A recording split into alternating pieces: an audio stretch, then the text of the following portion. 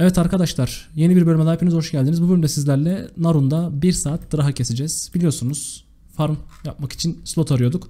7.0 patch ile beraber güncel drop oranlarını inceliyoruz. Lava Golem farmı yapmıştık. Oradan Stone of Protection almıştık şansa. Bakalım buradan bir şey alabileceğiz mi?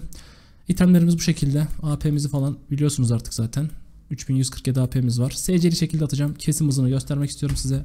SC'yi başlattıktan sonra şöyle bir bakalım. DB'siz yaklaşık 5-6 atıyorduk en son.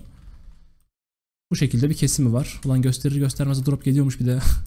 Neyse bir saatlik hızlı kesimi göstereceğim size. Sonrasında droplar için tekrardan birlikte olacağız.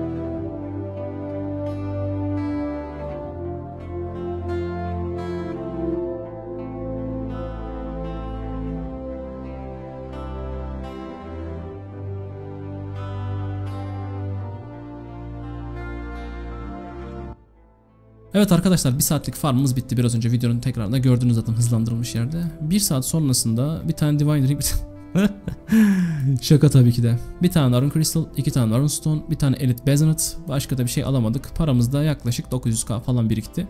SC'sini falan bunları tercih meselesi. Optimal olarak siz yapacaksınız. Buffer olarak da yapabilirsiniz fakat yani çok umut vadeden bir slot olmadı. Eskiden burada en azından Traveler's Ring falan atıyordu fakat şu an Pendant bile 5-6M. Bu slotta mezarlıkta yerini almış olsun. En azından denemiş olduk. Hani evet 10 saat kessek belki çok daha farklı senaryolar olurdu ama istatistik için kısa süreli farm yapan arkadaşlara yol açması için, yol aydınlatması için bir video oldu. Sizin fikirlerinizi merak ediyorum. Yorum kısmına yazarsınız abi. Tekrardan görüşünceye kadar hoşçakalın.